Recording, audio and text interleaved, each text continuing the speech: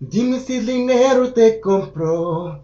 Dime si esta es la razón que te aguantas. Cuando sabes que eres tantas como tú. Y eres muy hermosa para que no trátate como su única mujer. Piénsalo bien. Yo te quiero también.